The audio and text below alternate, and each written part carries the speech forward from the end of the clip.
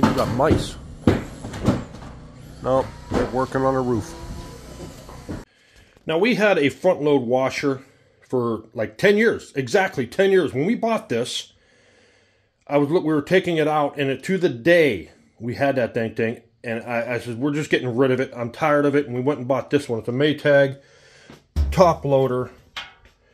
It's got the agitator. You can get it without the agitator. You can get it when you can take it out, but I wanted the agitator, and I wanted a Maytag because you know the thing. But the problem is, this thing is so freaking noisy. If you had it on the second floor, it's noisy. I don't know why they make them so darn noisy, but it is nice. It gets the clothes cleaner, quicker. The front load washers just suck. I would never, ever, ever own one again. I've heard of shrinkflation, but uh, this is a little bit alarming. Yeah, I'm sitting here on the back porch. I'm like looking. What? What is that?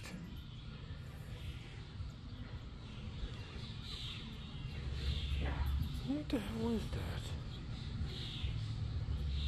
The flower? I can't see it from here. What the flower? First time in the three years that I've lived here, I've seen a flower over that fence. Let's go take a closer look.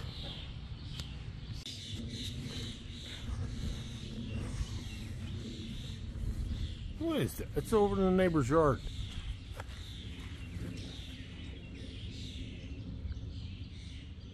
I don't know what that is. Is that bamboo? What is that?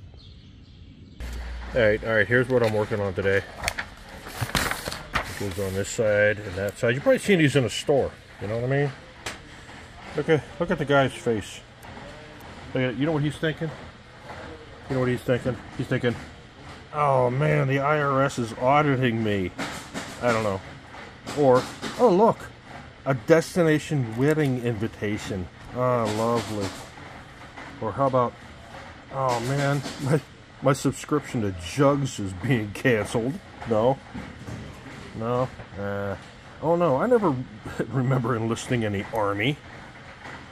Or whatever. Uh, what, what was the last one? Oh no, it's that lady who lives down the street's mail. The one who always answers the door with the robe half open and wants to talk for 15 minutes. She knows I'm married. I don't know. Just stupid things I come up with when I look at when I look watch when I look at these labels. You know why it's so dusty? Because I haven't used it in two years.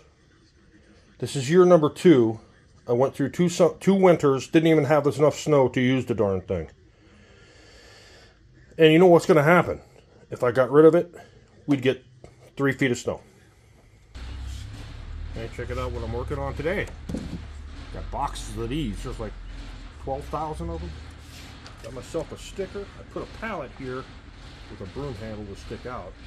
Because if I just keep peeling them off, it, it moves around. So, eh, hard work. Watch, watch, watch. Pay attention. Look at that. Look at that. Get another one. Put it on there. It's, they had to put a sticker on here for a burn hazard because somebody put this in a toy with hot coffee and a kid got hot coffee on him. So you got to put a burn hazard. America. Anyways, that's what I'll be doing all day. Busting my behind. Alright, so I got this label now. This thing looks pretty cool.